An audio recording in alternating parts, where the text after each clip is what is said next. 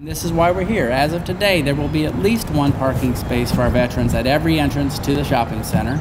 Um, we have uh, seven main entrances, so we're happy to, to provide uh, these spaces and hopefully they'll get used.